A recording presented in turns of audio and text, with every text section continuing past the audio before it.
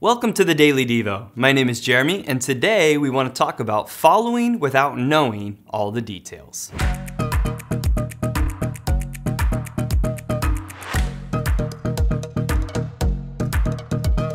Depending on how you're wired, what we're going to talk about today may sound exciting or horrible. I was talking to a person the other day about their idea of fun and adventure. And they said the craziest thing to me. They said, I love to go into a new area that I've never been to before and just get lost. I was like, wait, what? Getting lost is fun? To me, that just sounded like the dumbest idea ever. You see, I view getting lost as one giant waste of time.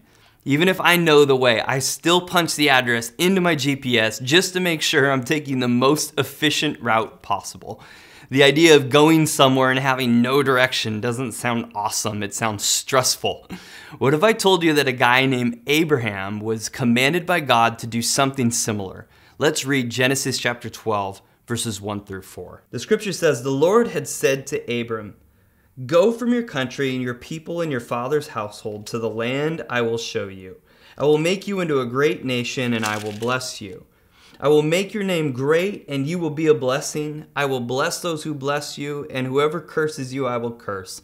And all the peoples on earth will be blessed through you. So Abram went as the Lord had told him, and Lot went with him. Abram was 75 years old when he set out from Haran. God gave Abraham a promise and a vague destination, but he didn't fill in any of the details. It would be like if I said, hey, we're gonna go to this restaurant and the food is gonna be absolutely amazing. It's somewhere in Phoenix. Your first question would be, well, what time? Do you have an address? Are we riding together? And what if I answered, don't worry about any of that. Just start heading in that direction. With the exception of the person who enjoys being lost, you would probably be really irritated with my lack of information. Following God requires faith. In fact, the scripture tells us the just shall live by faith. It also tells us that our steps are ordered by God. So we have to learn to trust God to fill in the details along the way. And He does. But that first step will always take faith. If you're the person who just wants to get lost, this might seem easy.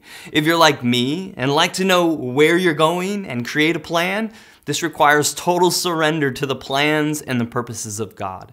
Abraham showed us it's not only possible, but that God rewards us when we obey. And at the end of the journey, Abraham found himself blessed, but still, he was being challenged by God to obey without all the details.